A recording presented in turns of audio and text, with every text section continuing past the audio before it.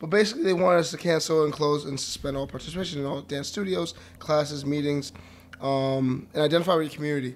And I know Mm-hmm. that here in Far Rockaway, we had a protest going Yep. on. So that Um, and I drove past it, going and coming, and um, it looked very peaceful. There was a lot of police out, um, but it looked like the people were allowed to protest the way they wanted to protest, um, which is always good to see. very, Um, very refreshing. What the people were screaming out was not the kindest of words at all, I mean, it shouldn't be. and and, and, it, and it wouldn't be. So, um, you know, you got to give these police on this side credit for not acting out. Yeah, I, I think. I, listen, man, they're just doing their job. Don't give police credit for doing their fucking job. They're just doing their job. That's what you're supposed to do. Right, You're no, supposed to 100%. maintain order. You're supposed to create a sense of community. You're supposed to be professional. So what the fuck? Like you don't give a good dad credit for being a good dad, nigga. That's your kid. You're a good dad. do your job. So if, if that's what they're doing, that's dope. As far as the Blackout Tuesday thing, um, I kind of use this day, and you follow me on social media, and a bunch of other people do as well, uh, to really like highlight some of the shit that I turn to in these times. You know what I'm saying? Like I, I turn to the Malcolm X talks, the Dark, the Dr. King talks, the Fred Hampton talks. Um, a lot of a lot of the music that I listen to also is very charged in revolutionary tone.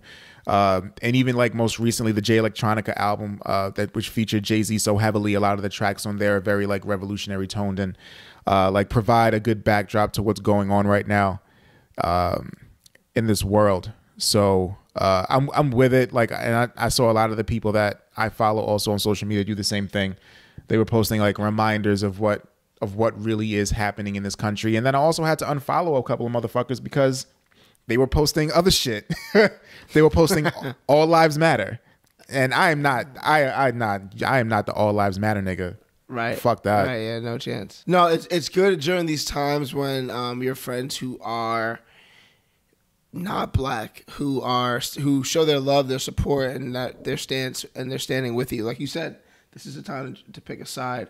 Um, so it's really important to know that the people in your circle and how they feel about this issue, and um, you know that you guys are just aware of where you guys, where everybody stands on this. You know. And- Yeah, and- it's very important. and, and it, and it does feel good to have the support of those in our um, in our circles. Absolutely. It's something that is that cannot be miscommunicated. Like it needs to be communicated as clearly as possible.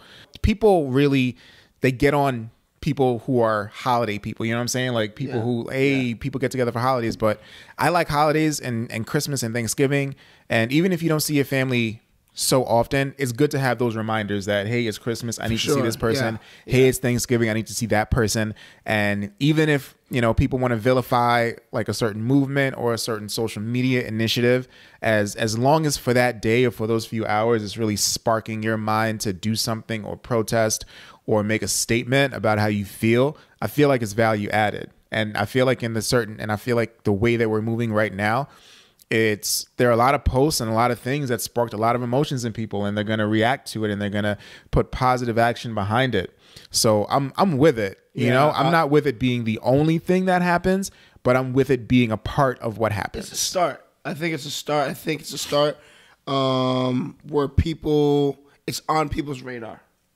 of Mm-hmm. where we are in the climate, and um, and now people are paying attention to something that they may not have like given attention to before. and it's a shame that they haven't And it's a shame that they haven't, but we can't afford not to because we go outside and we look how we look yeah. so, so this is this is an everyday thing for us every single day. Absolutely. I, I just I just feel like if, if you're an all lives matter type of person, like I, I can already tell like where your like allegiances lie. Like I can already tell you don't understand it. And I'm at a point today where I'm tired of explaining that shit to white people. Right. It's my thing is you don't have to understand it, but you can respect it and you could try or you could at least try or attempt to try. Mm-hmm. I feel like people don't even just a- attempt to try. No, people understand it. Hey, listen, like we're in the age of information.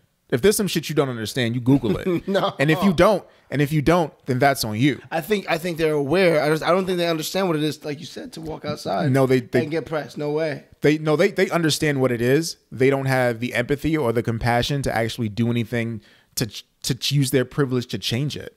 And that's all that that is. It's it's a willful ignorance. It's a willful inaction. That's exactly what it is. Like they see the news. They see they have social media. they've we're in the most diverse times in the history of this world. They they see black people, they they hear their struggle, but it's still silence. It's still inaction. It's still on the sidelines. You know what I'm saying? Like it, it's it's I, I'm not giving them the credit of not understanding. I'm giving I'm I'm saying, hey, like I know you understand this. I know you understand this is fucked up. I know you understand that if if you were George Floyd's mom and had to watch four people sit on top of him until he died, I know how you feel about that. So I know you know how I'd feel about that. But you're still but you're still walking around with this will this willful ignorance, this air of because I'm not wearing a Klan hood or burning crosses on churches' front lawns that I am an ally. And and you're not. If you have a willful ignorance and you're running around spitting out all lives matter, you're not an ally. Yeah.